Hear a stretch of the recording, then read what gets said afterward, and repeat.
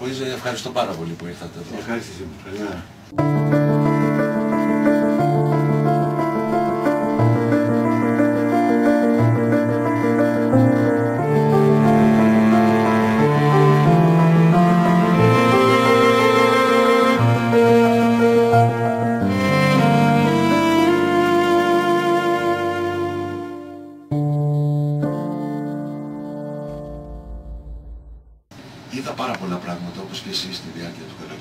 Καλοκαιριού. Είδα κατάλληλους δρόμους και άθλιες συμπεριφορές. Και κατάλληλα μυαλά.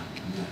Ε, εγώ θα έλεγα βασικά και εδώ είναι το πρόβλημα εδώ και πάρα πολλά χρόνια, προσπαθώντας να πείσω τους πολιτικούς, τους δημοσιογράφους, τους θεσμούς για το ότι πρέπει να σταματήσει αυτή η εξόντωση επίπεδο γενοκτονίας στην άσφαλτο η, η οποία μας φέρνει στη χειρότερη θέση ακόμα και σε επίπεδο πλανήτη.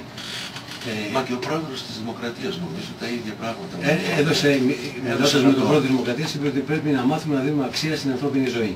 Δεν υπάρχει κάτι που αξίζει περισσότερο την ανθρώπινη ζωή. Το θέμα λοιπόν αυτό είναι ένα τεράστιο πολιτικό θέμα. Όταν μιλάω λοιπόν με δημοσιογράφους πολιτικούς, ξυνίζουν λίγο τα μούτρα τους θεωρώντας ότι δεν είναι πολιτικό θέμα.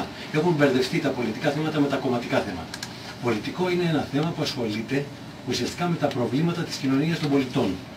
Και σε μια δημοκρατία, έτσι. Και το μέγιστο πρόβλημα σε μια κοινωνία πολιτών είναι το νεκροφίλημα του παιδιού. Είναι το, αποχαιρε... η- το να αποχαιρετήσεις το παιδί σου περπατώντας πίσω από το λευκό φέρετρο. Ξεκινάω δυσάρεστα κατευθείαν. Καλά είναι κάνεις, αυτό που γιατί βλέπεις πρέπει κάθε να- μέρα. Αυτό είναι λοιπόν το πολιτικό θέμα το οποίο θα έπρεπε να έχει αναχθεί σε εθνικό θέμα, να το έχει πάρει πάνω το Πρωθυπουργός, ο Πρόεδρος της Δημοκρατίας, η Βουλή και ο- οι θεσμοί, η Εκκλησία πάνω απ' όλα, έτσι όλοι μαζί και να προσπαθήσουμε να σταματήσουμε αυτή την εξόντωση που συμβαίνει καθημερινά και που δεν συμβαίνει σε, κανένα, σε καμία άλλη χώρα της Ευρώπης και του πλανήτη. Λοιπόν, είναι μέγιστο πολιτικό θέμα. Άκουσα λίγο προηγουμένως τις ειδήσεις.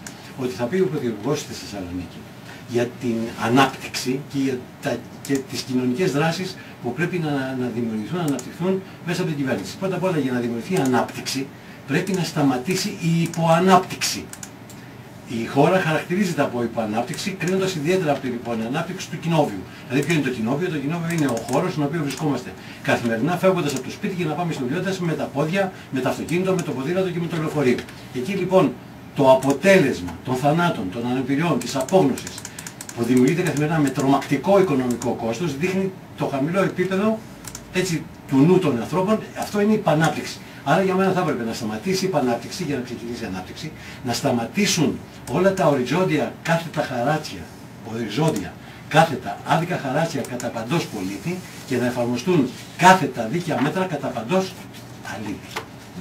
Έτσι είναι αυτό που μιλάμε, ότι είναι, είναι, είναι γνώση σου αυτή η μελέτη καθηγητών από τον Τόρμουθ που λέει ότι, ότι οι άνθρωποι, η καθοδόν οδική συμπεριφορά είναι απολύτως ανάλογη με τη διαφθορά ενός λαού.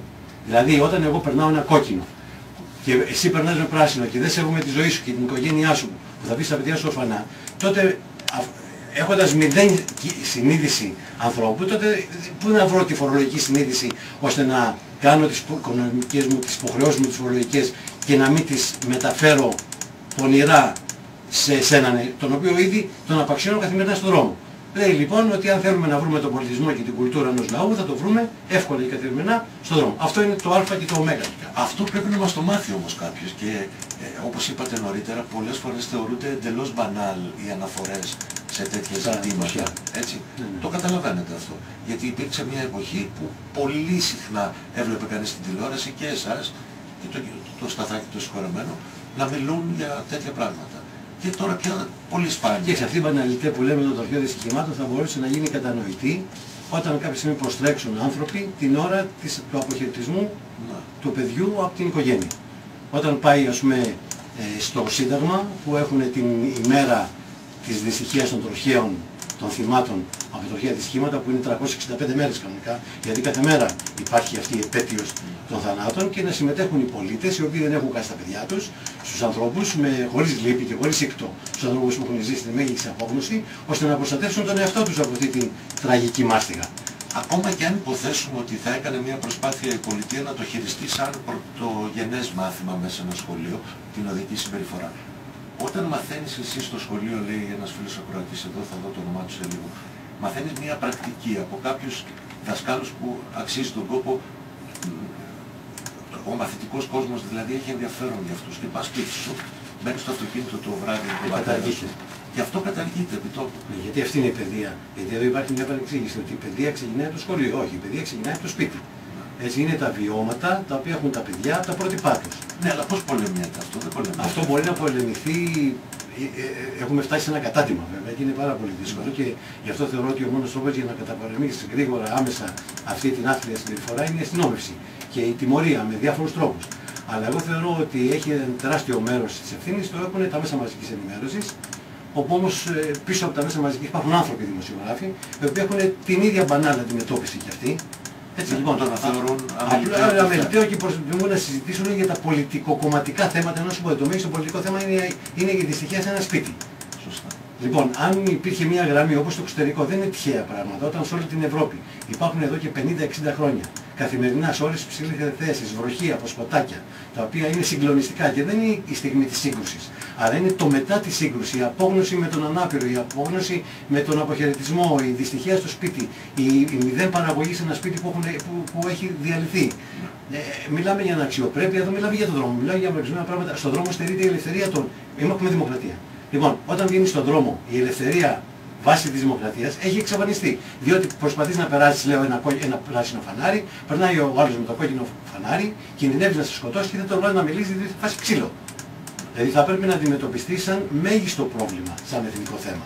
Πάντως η παιδεία, να επιμείνω ότι πρέπει να ξεκινήσει από το σπίτι, μέσα από τα κανάλια, τα οποία θα περνάνε τέτοια σποτάκια, για 50-60 χρόνια ήδη παίζουν στο εξωτερικό και αυτά έχουν βάλει τη βάση της αλλαγής της νοοτροπίας. Βεβαίως, μέσα στο σύνολο μιας χώρας ε, βελτιώνεται ο τρόπος συμπεριφοράς μέσα από τα, από τα μέσα μαζικής ενημέρωσης των πρωθυπουργών, των υπουργών, των βουλευτών, των αστυνομικών, των ιερέων, των θεσμικών. Άρα ο καθένας από θέσης του... Προς τα πάνω. Ε, βέβαια, με κέρδισε.